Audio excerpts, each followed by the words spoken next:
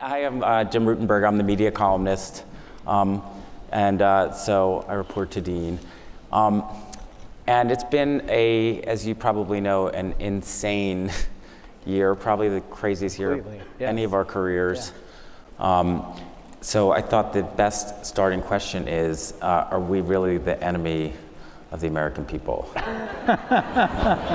We're friends with Southwest no matter what. Shouldn't we beat around the bush a little bit? I know, I'd love to. No one lets you do it anymore. I actually, I mean, all, all, all jokes aside, I thought that was just an outrageous um, comment by the president. I thought it was um, sort of designed to, to undermine the press. Um, of course, we're not the enemy of the people. I mean, we have a role in society which is to ask tough questions of the president. Um, I like this relationship we have in a weird way with the president. The most natural state of affairs between the news media and the president is tension. It should be tense. We shouldn't be friendly. But I think that sweeping the press as the enemy of the people is a dangerous comment. And I think that um, it's regrettable that he felt compelled to make it. You know, and I, the cool thing about this is I get to ask you stuff that Dean's always too busy to talk to the likes of me. No, you're too, you've got a lot going on, so uh, you're going to see me actually asking things I wanted to know. um, so, but when that tweet came in, were you kind of as jarred by it as those of us in the newsroom were? Yeah, all those tweets. Are, I mean, my first, if I can go back in time just a little bit, the first of those tweets, it was, it was a Friday night after the election, and we were getting pretty criticized for our um, coverage by the by the left and the right. Which we'll get to. Yeah, yeah. and I and I spent, you know, a couple days responding to critics, and then woke up Sunday morning to his first failing New York Times tweet and I felt like the whole tone of my emails shifted dramatically. Suddenly, I was starting to get, to get really supportive emails. Um, I think when he does the tweets like the enemy of the people, um, it's jarring. Of course, it's jarring. Um, it does not influence our coverage of him. Um, that one, I think, is particularly troublesome because enemy of the people is, is a historic term in the life of, of American literature and politics. And it, and it implies an attitude toward us, and hopefully it does not imply the possibility that he will do things. Um, but that's, that's, it was disturbing, and it was disturbing when I saw it and jarring, yeah. Do you worry when that happens that um, we in the reporting staff will get uh, too emotional about it? Because, right, we're, we shouldn't be kind of goaded into this. Yeah. Is that something that you I feel like one of, one of my hardest management jobs in this campaign is to make sure that the New York Times sort of holds on to its core. Not, not that reporters are trying not to hold on to their core, but, but my view, which I've said numerous times and I'll say it again, our job is not to be the opposition to Donald Trump. It's to cover the hell out of Donald Trump we're supposed to cover the hell out of powerful people, and he's the most powerful man in the world. Um, it's not to be, you know, his opponent. It's to, it's to be tough, questioning advocates of journalism and of our readers. So I do have to make sure the newsroom, my, my messages to the newsroom is you cannot let those tweets influence how you cover Donald Trump. You should cover the tweets, you should cover Donald Trump, but we should remember that our role is pretty clear right now.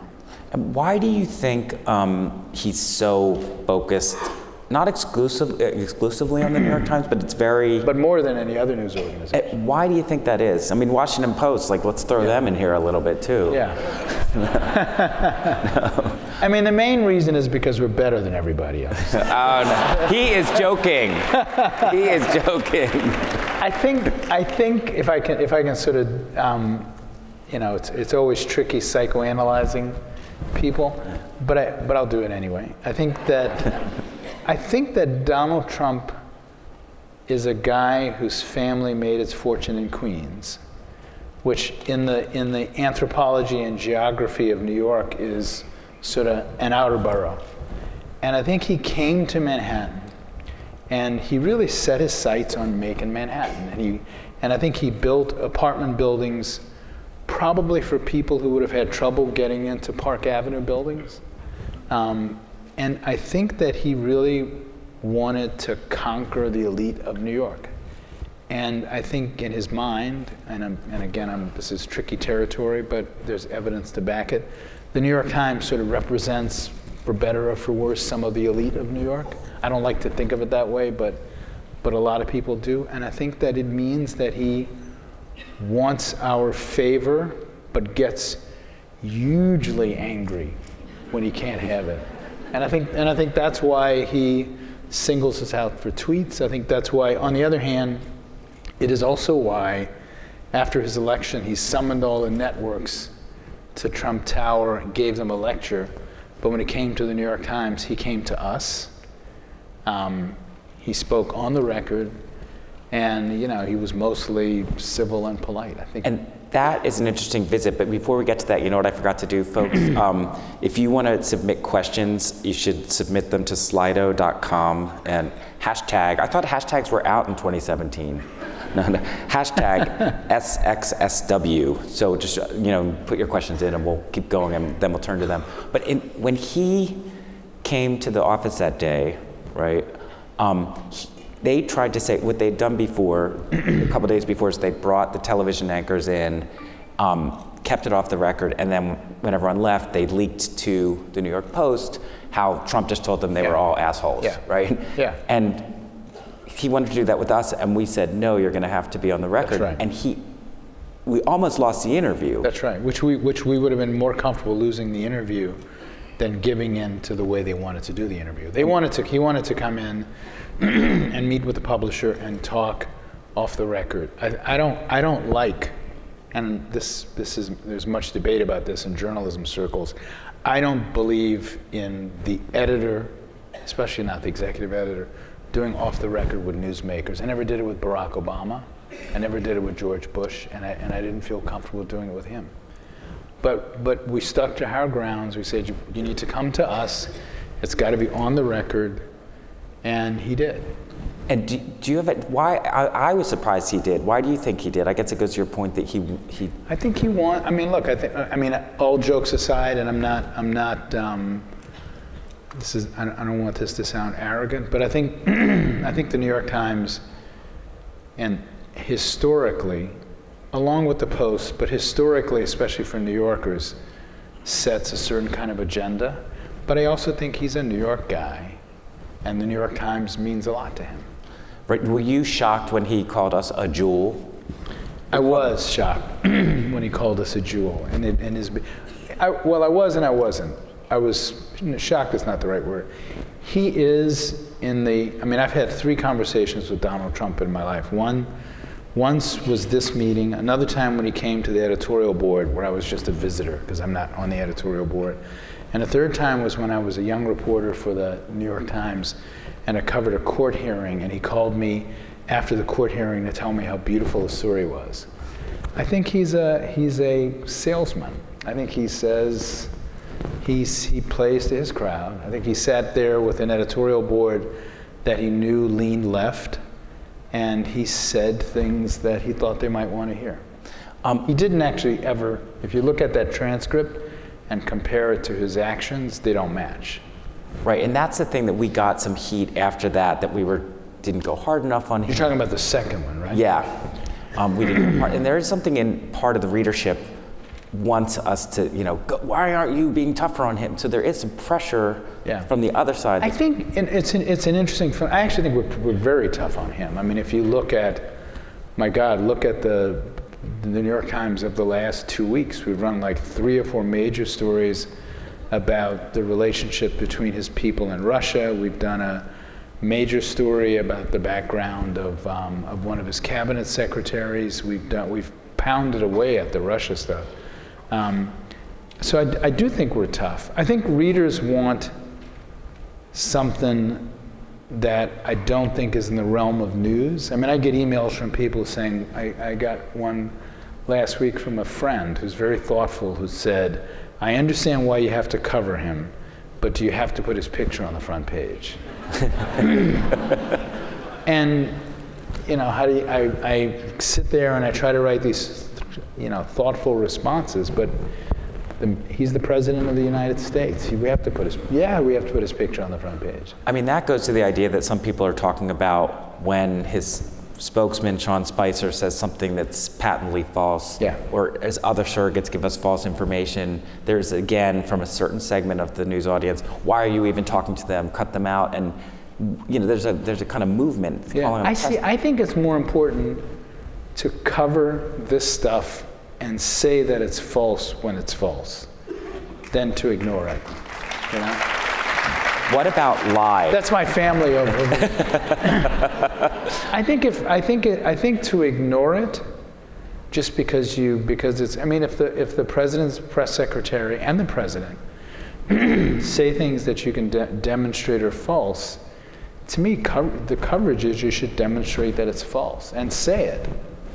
And but there's some people. I have this. I hear this all the time in my own travels. Of why aren't you calling a lie a lie? We have done it. We did it. But what's your philosophy about how often we should use the word? And and what? Are, sometimes it seems people they wanted to hear it, right?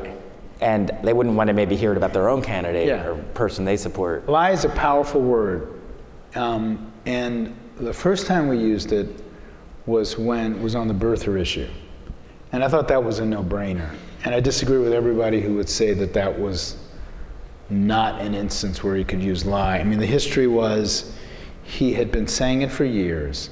He claimed he hired a private detective who was finding out really interesting stuff.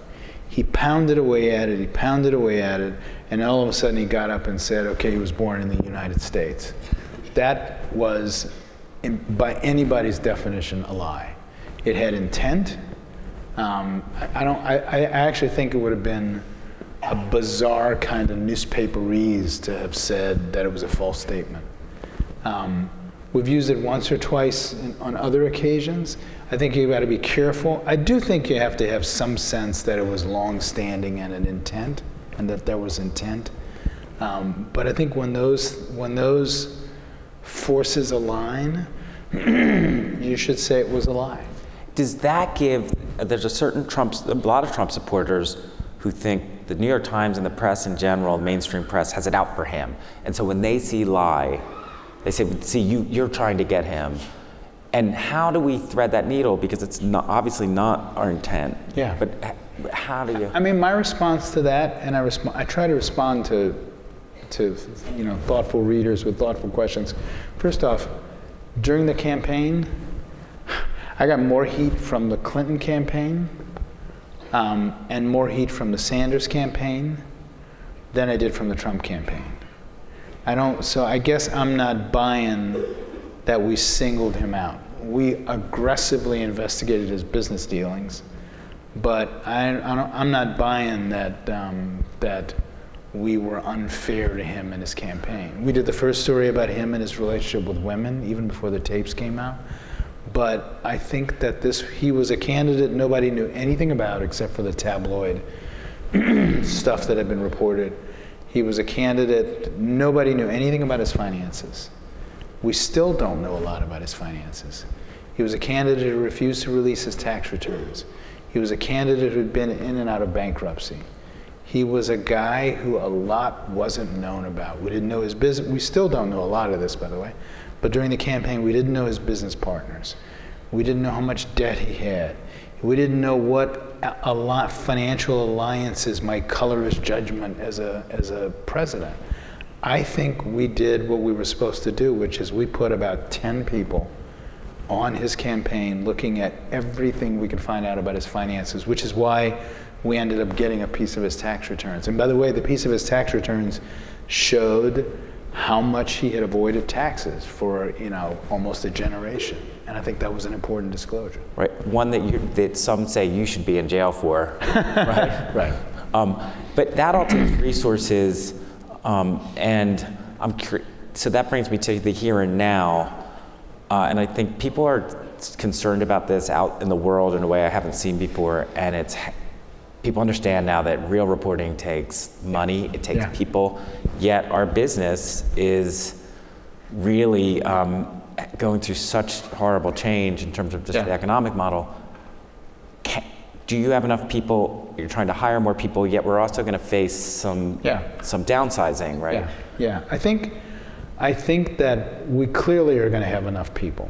Um, we're not going to do. I mean, we have we have been hiring like crazy since the election. We've hired three really well-known investigative reporters. We, you know, we've bulked up our White House coverage.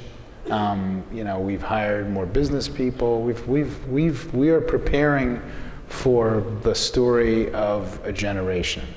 It is true. I mean, this, one thing I would, I would ask people to think about is I think the next two years are going to be a historic moment in the life of news organizations.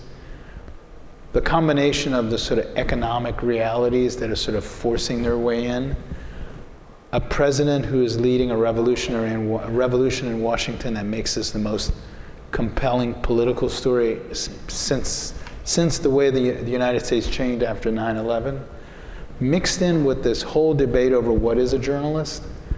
As this, the next two years are going to be historic. There are going to be 20 books written about the next two years in American journalism.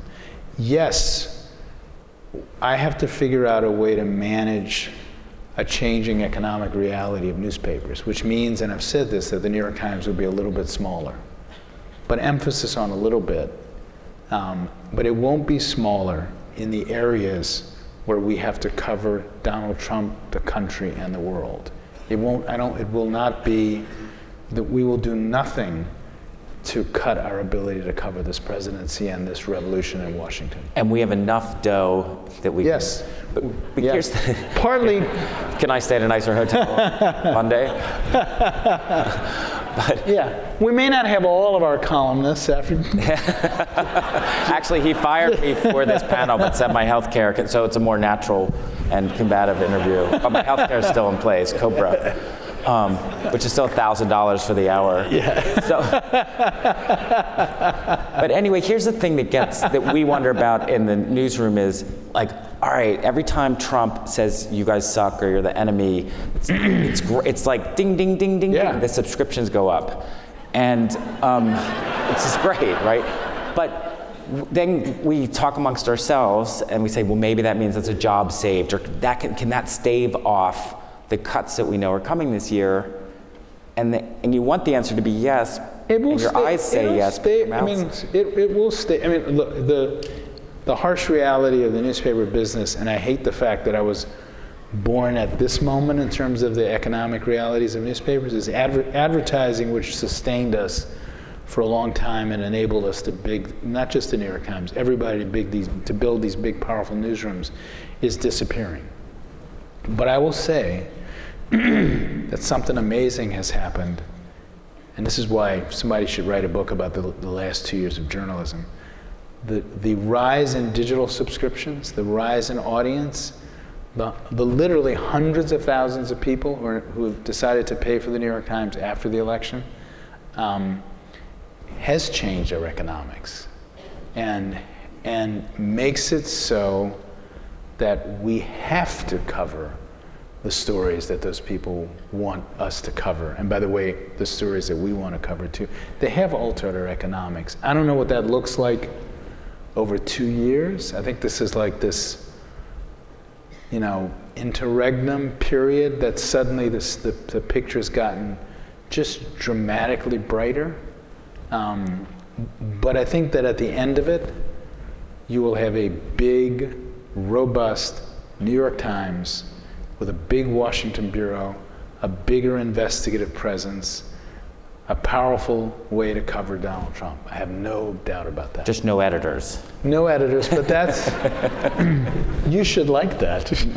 I wish I did know. I, I, I, I didn't want editors until I became an editor. Yeah, but that's why you became an editor. I, I like editors. I'm not just kissing your ass. Um, I need extra. I need help. You know. Um, but but the answer is really though that while it's going to make things easier, the new subscriptions don't stave off having to do what we have to do. It doesn't make up for the They- dramatic change in the. They don't make up for it, but they help. Um, they help. I mean, I don't think anybody was. I, I think we're. I don't think anybody expected this dramatic rise. They help.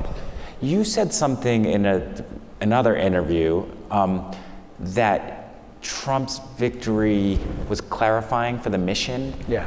And what do you mean? Like, and you said, and you mentioned something like before that you thought we'd lost our confidence, right? So what? Do Yeah, you, it wasn't. It wasn't co- losing confidence, and I'm not, in this case, I'm not just speaking for the New York Times. I'm Yeah, speaking right. for journalism.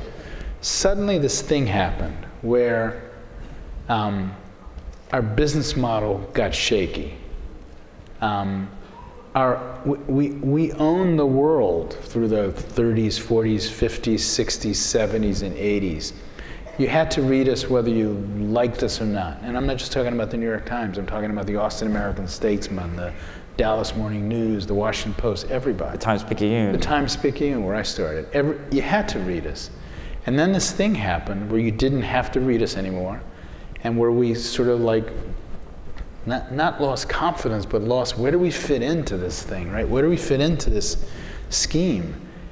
And then in comes the most compelling presidential election of a generation, and in comes the election of a president who, no matter what you think of him, and my job is not to judge his politics, just to cover him, is revolutionizing Washington and is making changes that has the whole country just riveted.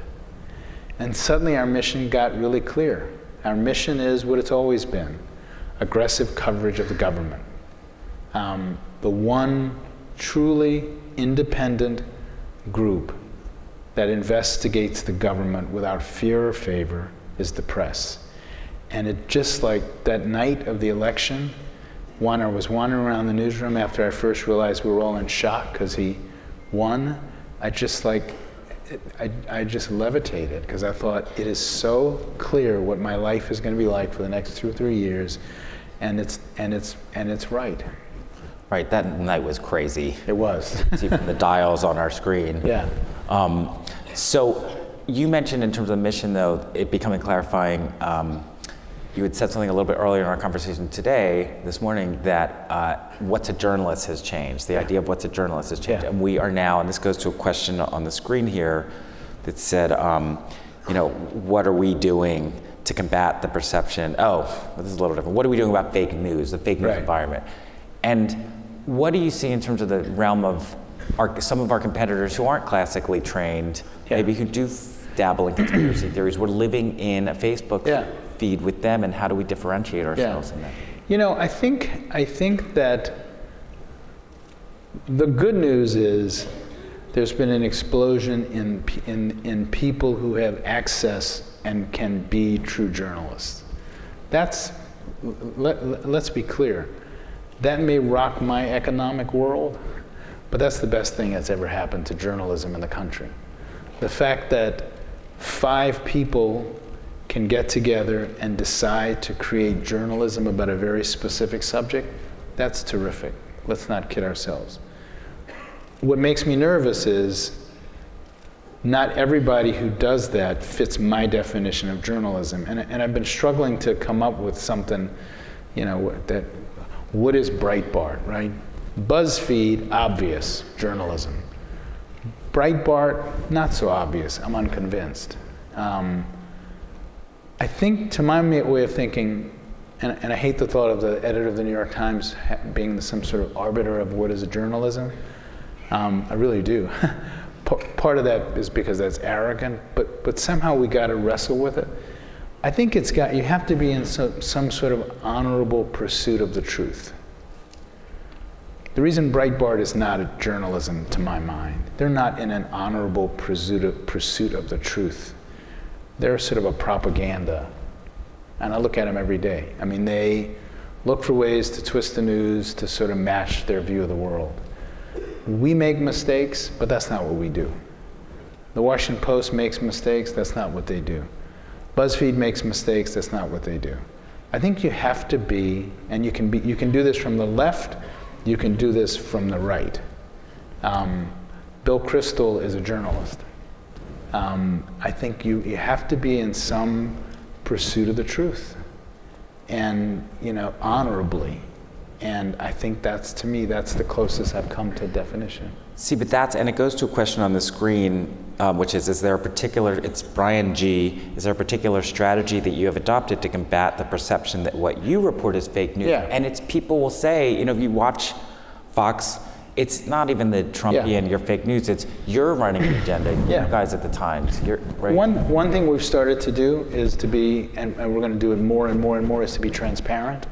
I think we spent our whole lives thinking that people assumed that we were honorable, people assumed that we were actually trying to find out what happened, people assumed we were expert. I think we were wrong.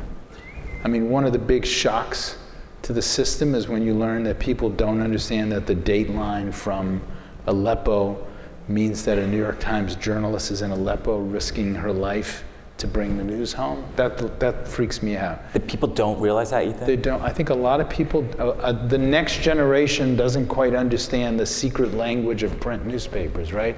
The secret language of print newspapers, if it's one column on the right hand side, that's the most important news of the day. If it's got a dateline from Aleppo, that means a reporter is risking her life to cover the war.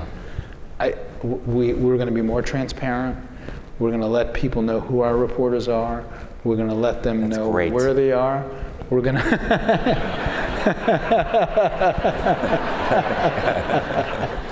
I like that.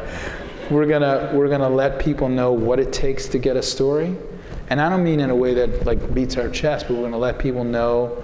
And I, I, I think if people understood, we did. We, if people understand how much work it takes to try to cover war, if people understand that we are the only institution regularly in Afghanistan, in Afghanistan with a house rented, and that we do everything we can to keep reporters there, even as the news has faded. I think if people understand that, and if we pound it home to people, I cannot believe that people will not understand that that's the difference between our news and everybody else's news. Is that what the ad campaign is partly about? We just Yes. did this big ad campaign. If you watch the Oscars, it's the New York Times. Um, so it's about is that about building subscribers or fighting back the perception that we're It's about? Or? it's about a long creating the long-term view that what we do is different. It's creating a long-term view that we spend the money and we risk our lives to cover war. It's creating a long-term view that our brand that it, you know pre-exists me that is the brand that created the Pentagon Papers that is the brand that, not the Post. not the movie. post right? They're making a movie about the Post and the Pentagon Papers. I mean I think that I think it's They're great. We love them. We can't. I think that I think that is I think I think we took for granted that people sort of knew what we did and they don't. And I think we have to really fight to make sure they know. And I think that if people know, I, I just I refuse to believe that people will think our coverage of the war is fake news if they see a picture of Alissa Rubin who almost lost her life life covering refugees and, and went back to Afghanistan and wrote the stories of women in Afghanistan. I refuse to believe that people will not understand that that ain't fake news, that that's hard fought, hard won coverage. Does it concern you, by the way, we, that we can now see on our desktops how many people are reading every story we do. We have ratings now, and I don't know if everyone understands that. That's entirely new for us. Right. When I first started at the Times on 18 years ago, I could be totally snobby about television. You're doing that for ratings, you know. Now we have to be Yeah. concerned about ratings, and so the stories out of Syria, the stories out of Iraq, they they don't get the traffic that anything about Trump gets right now. That's right. Does that concern you, and will that ever put downward pressure on spending the money to have someone Nope. in Afghanistan? Nope. First off, we're lucky. People actually read.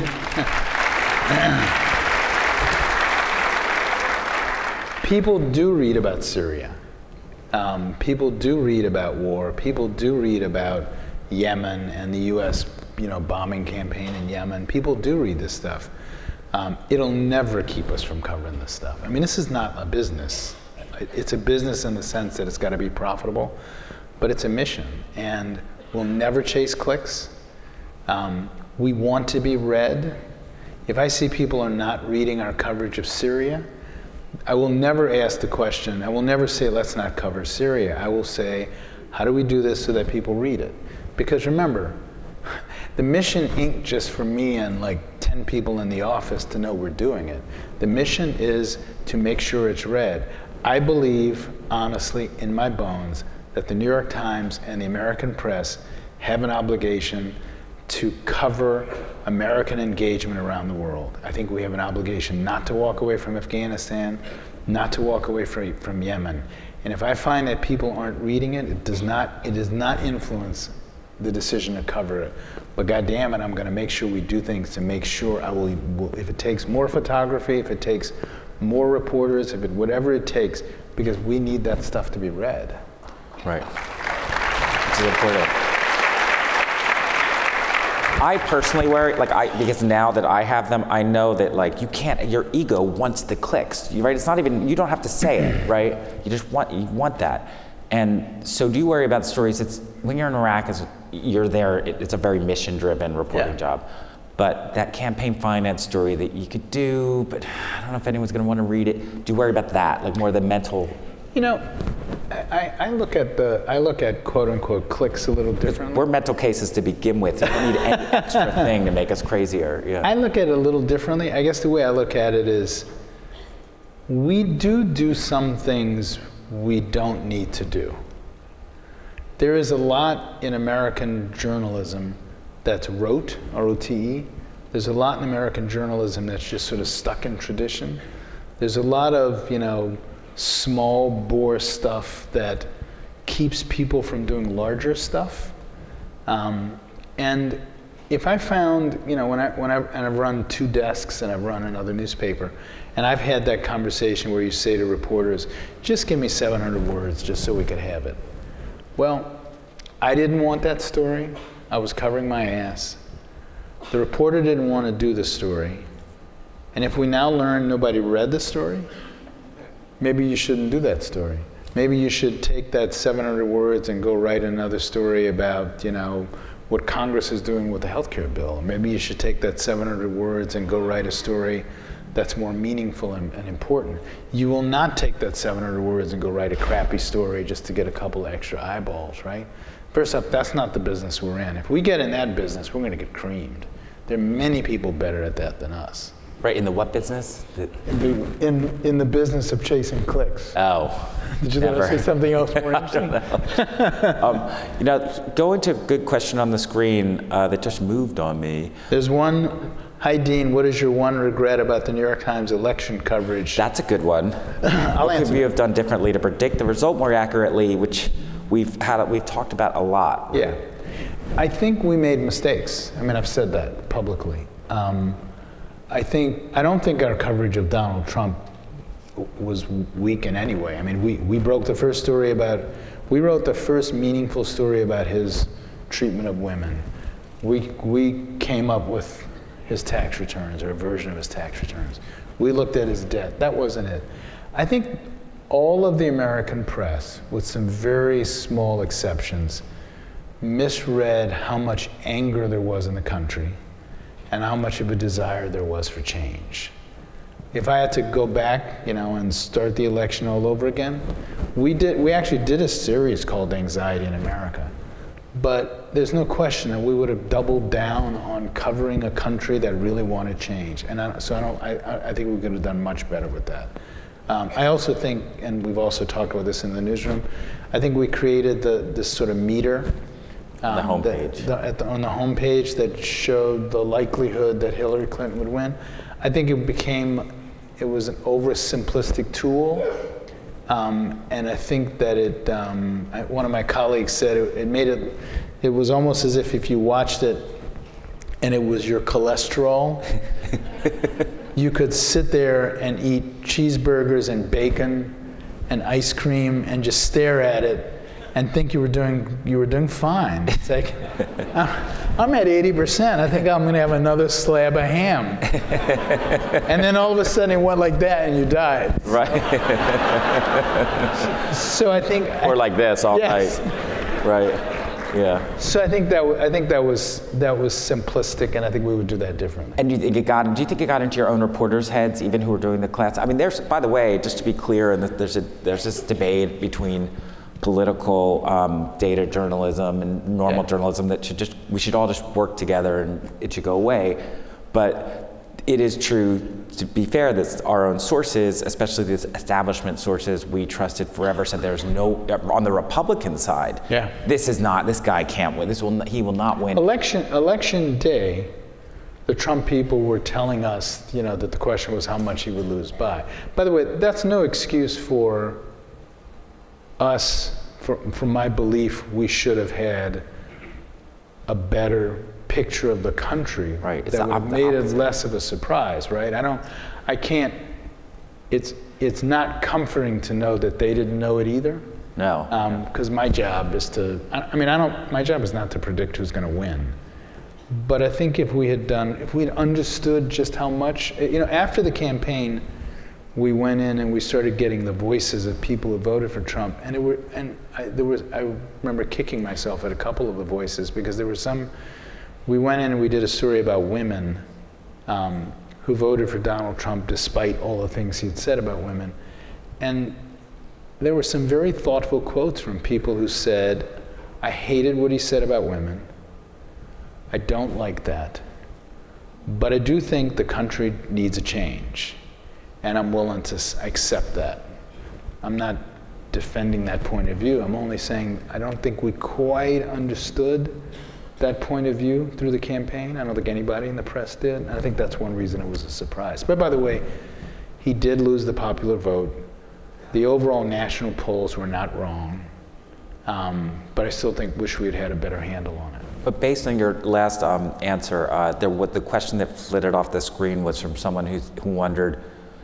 It, the question read, um, are, "Your audience is very liberal. What are you doing to reach out to a Trump voter who could be amenable to New York Yeah. Times style coverage?" I, it bothers me that our audience is, is completely liberal, right? Remember, my mission, our mission, is to, I mean, I'm, a, I'm, a, um, I'm an idealist, right? My mission is to write big stories that either explain or change the world.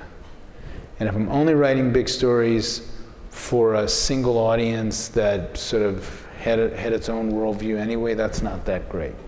Um, I think that we need to get better at doing some things that will attract different kinds of readers. And by the way, I don't mean by um, by skewing our coverage. I mean, you know, I think we should get out in the country more, talk to people who may not necessarily be our readers, talk to them more respectfully, listen to them, and bring their quotes home.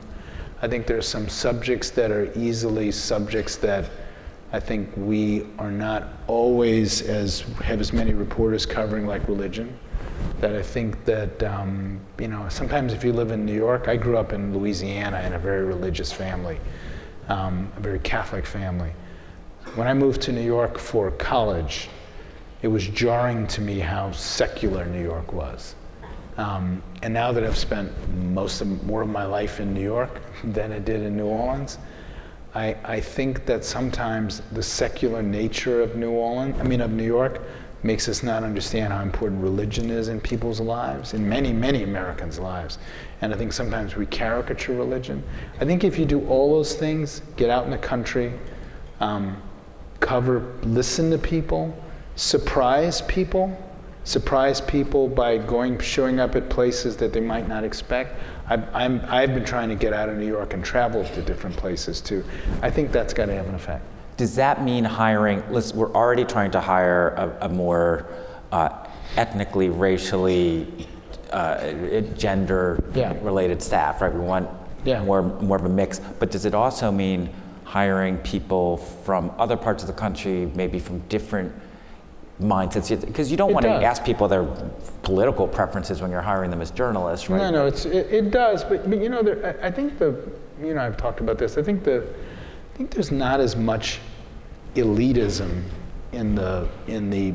Look, I grew up. Well, are you kind of elite? What am I? I mean, you. were No, he's the opposite. He dug. He didn't dig ditches, but you, you're talking about this. I grew up in a in a working poor neighborhood in New Orleans. Um, had never been outside of New Orleans till, till I went away to college. You worked in your family's. I worked in the family's restaurant. I mopped the floor every morning before I went to school. Did you ever mop vomit? I mopped vomit. Such a good detail for the bio. I don't. I trust me. Not only is it shocking to me that I'm considered the le- leader of the elite media, it's shocking to my family when I go back to visit them. I know. I love New what Orleans. I, I love when everyone says you're elite. I'm like, tell my wife. Yeah. All right. And I mean, I come do- check. Come to our apartment. All that, all that said, all that said, look, we mo- most of the sta- the leadership of the New York Times lives in New York, and I do think we have to work hard to get voices that are not just New York voices. Um, I, I think that we need to do that just to understand the country better. Absolutely. So to move a little more question focused on the screen, someone um, writes, this is Richard Robbins, sorry my eyesight is horrible. Isn't the press falling into a trap set by Trump's tweets to focus on his outrageous comments, especially about the media, as you're doing now, rather than his actions? I think we do both. I mean, I think if you anybody who looks at the New York Times who doesn't think that we're like taking apart every inch of the healthcare bill, we've run like five graphics in the last three days explaining every nuance of the healthcare bill, who loses insurance, what the tax implications are. I think we've done deeply, gone, dug deeply into his policies. But when the President of the United States tweets some of the things he's tweeted, you have to cover them. You have to truth test them. You just have to do both. But I don't. I don't. I guess. I, I guess I push back on the idea. I mean, I, I, to be frank, I think this is somewhat true of television in a way, because they can. They're built to only manage one headline at a time. But I. I don't. I don't think anybody looks at the New York Times, you know, and saw and has seen the giant graphics we've done on who are the people who are illegal immigrants who are in the United States? Where are they from? How old are they? I, I, don't, I think we've gone, gone really deep into the nuances of his policies, as well as covering his tweets. Because as we move toward digital, isn't it true? All that said, which I agree with, because not only because you're my boss, but partly because you're my boss.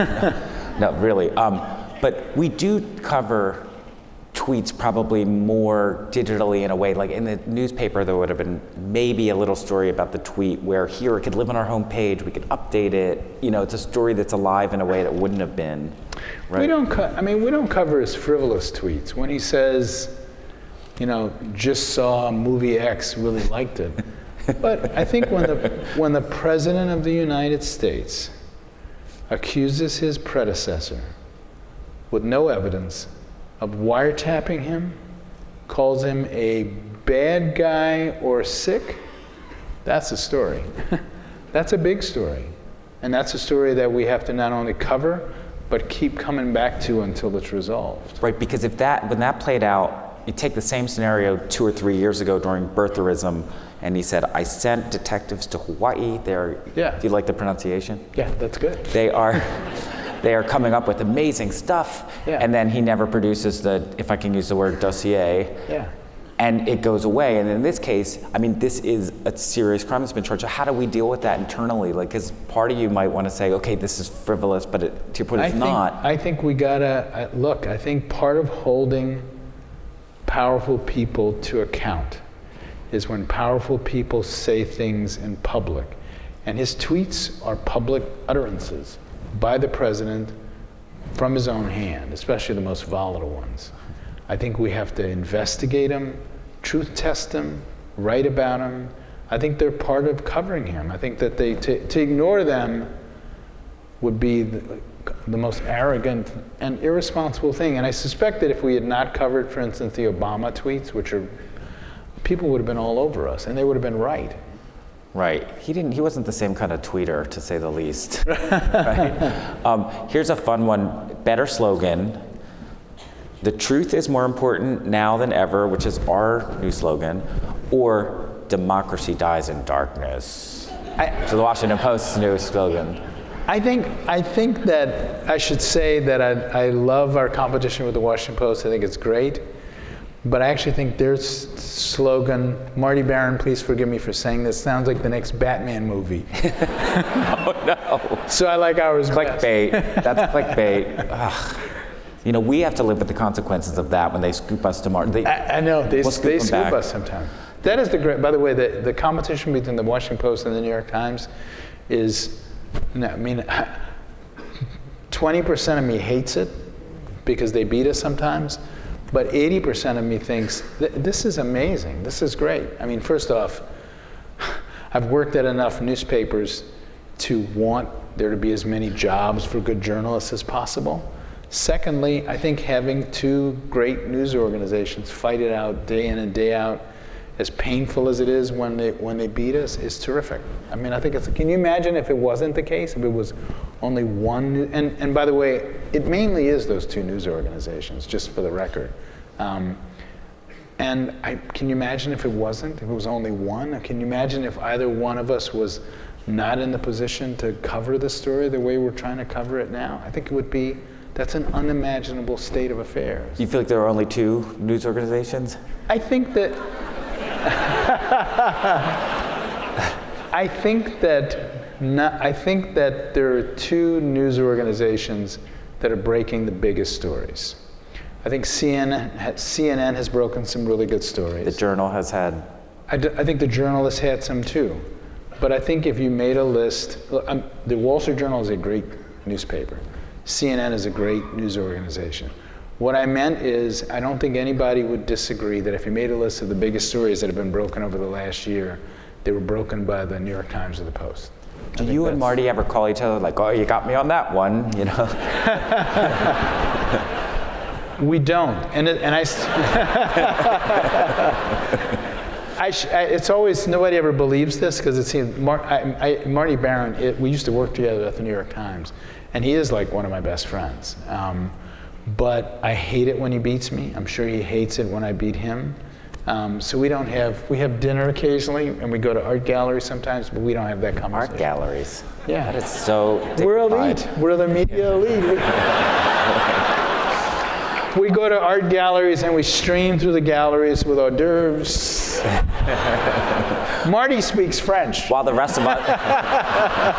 that is. You, you probably do too, right? I do not speak French. Well, just for the record. Marty doesn't either, by the way, he speaks Spanish. Just for the record, your staff were the ones vomiting in the bar. Okay? so uh, here's another one. Clickbait headlines is a huge all caps. Uh, who wrote that? It's a Trump? Clickbait headlines are huge. a huge dr- driver of post-truth in all media outlets, NYT included, this person says, is the NYT striving to restore trust in media and its own clickbait.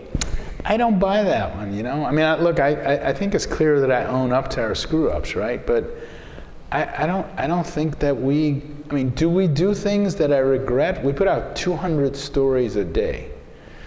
Do we do things that I look at sometimes at night or in the morning and cringe and say, oh God, how did that one happen? Which one did that? Sure. What was that? And I, but I think that I don't. I just don't think we're driven by clickbait. I don't. I think we're driven by like trying to do good stories. And I think sometimes we screw up. It's a. There's nothing more. There's nothing more. Um, um, vulnerable is not the word, right word. There's nothing. I mean, newspapers are deeply flawed. They are, you know, in my case, 1,300 people striving to put out a news report every day on different platforms. Nobody can watch the whole thing. Sometimes I walk past the, you know, the news desk and I see a headline emerging and I say, "Holy shit!" And and sometimes I see things in the paper the next day I don't like. It's like it's a that's the way it's got to be. What you have to do is hold on to the fact that you're striving for truth, and that you're doing your goddamn best. And on the biggest stories, that doesn't happen. But we are, an interesting thing to me is there isn't, and such a small side point is there isn't art that kind of just dying, right? In terms of um, not only democracy dies in darkness, but beautiful headline writing dies in the digital world, right? Like, You know, I because everything's done to get clicks. It, It's not, not. It's bait. not. It's not. You know, it's it's interesting. I think I think headline print headlines are different from digital headlines, not not just to gain eyeballs. Print headlines had this architecture around them, right? Like so, you know, you're looking at the print front page. There's a picture at the bottom of the page from a you know of a tank moving through Aleppo, and the headline's not that important. It's sitting there with the tank moving through Aleppo. It's got this sort of architecture that tells you what the story is about. Some people don't even read headlines. They see tank, Aleppo, you know, Aleppo Dateline. I'm reading about Aleppo. Digital headlines are different. They have to do more work. They don't have that sort of architecture to guide you to it. So you do have to write them differently. You do have to tell people more, and they have to be snappier. It's true. And that leads, there's a question here um, from, uh, I can't, Vaish. Are there any alternate forms of content display that the NYT is experimenting with, like bringing context slash timeline uh, kind of easier to consume through Totally. mobile? And we are, right? Oh, totally. We do things now that would have uh, would have been un. We do more chronologies. We do more timelines. We do more, just sort of, you know, Q and A's. Things we would have done as stories before. We now do as Q and A's. Can I do my column tomorrow as a drawing? No. Day is going to Give it a shot. Go ahead. All right, so I hope you guys have fun at South by. I'll be um, Here's an interesting one. Do you think, and this is from Satu, I'm going I'm to mangle your last name. Do you think Trump will be removed from office before the end of his term? What? Uh, I have no idea. I mean, I don't, I don't, I don't think there's any way to. I, I think you have to cover him with the assumption that that's not going to happen. I don't. I mean, I have no idea. All right, there you have it. That's a pretty, that's, we can't go anywhere from there. Um, how many new subscribers? This is from OK Arts. Uh, how many, sorry to mangle that, how many new subscribers has the NYT gained since the election of Trump? It's in the hundreds of thousands. I literally don't remember the exact number, and you have to remember subscriptions go up every day. It's a ton. I mean, it's an astounding. It's in hundreds of thousands. And, and the, the second part of the question was where do you see it going from there? Continuing to go up. Um, We need it to go up a lot. we still, need it to go up a lot. Buy more. We need it to go up a lot. Which is th- this question from Anonymous. I, the hacker group? Uh, how can we meaningfully support the free press and accurate reporting outside of buying subscriptions? Why, thank you, Anonymous. outside, of, outside of buying subscriptions. I think that there are a lot of not-for-profit news organizations that could use funding. The New York Times itself, by the way, um, is trying to figure out new ways to attract different kinds of funding beyond the subscriptions and, and advertising. Um, Like selling toasters? selling toasters. No, I think I think there are I think there are things that you can do to support journalism. I mean, I think giving money to ProPublica, I think buying subscriptions to the New York Times. I think the New York Times is trying to figure. A lot of people have come to us and said, a lot of philanthropies, we would like to help you. And I think if there's a way for us to if, if there's a way for us to do that without you know jeopardizing our coverage and with us keeping control of our coverage, I would be willing to think about that. But that gets dicey, right? Because who's their funding and what's the Yeah, it does. angle? But on on the other hand, you know, there are there are groups that fund coverage of climate change, and outside of the head of the EPA, there ain't much debate over the causes of climate change. Are you start speaking about Mr. Pruitt? yeah, I mean, I think I think I think most I think that's settled science. So if you know, I'm, I'm, if if if there was a way to fund a project to look at climate change and its impact all over the world in a dramatically visual storytelling way, I think that would be a public service. But is there a way, but I think to this, another part of that question, if it's settled science, is there a way that that needs to be pounded through the news feeds that, you know, among hoax stories or Yeah. people denying it or, Yeah. you know, legit- Yeah, I mean, every every time we write about when, when when he made his remarks, we make clear that it's settled science. We, you know, do stories the next day that says, "Here's why it's settled science." We quote we quote scientists describing why it's settled science. Yeah. Um, here's a question from Mark Fridson. Uh, how do you counter the president's attempt to diminish the media's credibility so he can successfully reduce his accountability by getting people to tune out? I, I do think I do think that the president has has had as his practice to try to reduce the credibility of independent institutions. It's not just the press. It's been the judiciary. Um, it's been members of Congress who question him. Um, I think that's true. But I think you counter it, to be frank, by blocking and tackling, aggressive reporting, reporting that um, you know that makes clear when when the truth is different. Um, I think you just do it by continuing to report and break stories and make yourself indispensable. And that leads perfectly to another question here is um, regardless of whether Breitbart is real or not, the president is getting his information from there. What are the implications of that for our country? I think he also gets his information from the New York Times. I mean, I, his tweets are in the morning after reading the New York Times. I think if he only got his information from Breitbart, that would be pretty bad. What about Infowars.com? That would be worse. that would be worse. I mean, those are those are not journalistic institutions. I know they're going to all.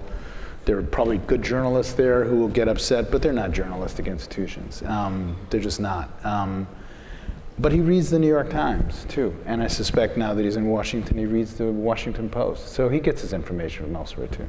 But there is something going on here, right? That is is a shift when the president can point to something that might have been an InfoWars with his megaphone that does kind of, we have to live in that world as journalists, right? We have to live in that world as journalists, and I think that that's disconcerting. That's when I talked in the very beginning about why we have to struggle with some definition of what is journalism without being arrogant. I mean, look, the, the, when the press secretary starts treating, you know, I mean, one of the most bizarre scenes that's happened a day or two ago. Was in Infowars that the that was who was at who was at the press briefing and was attacked by the Fox reporter? Oh, that was GatewayPundit.com. Okay. Sorry, sorry, Infowars. Hashtag. That was a Gateway Pundit, which is sort of a, a website that advances conspiracy theories, has been given a seat in the White House press gallery. That's uh, that's ridiculous, you know. Um, and there was the amazing scene of Fox's White House reporter attacking that guy and saying he didn't deserve to be there, which he didn't deserve to be there. And then Fox got it. The Fox reporter got attacked for being a member of the liberal. Yeah, that's media. right. That's like that's that's.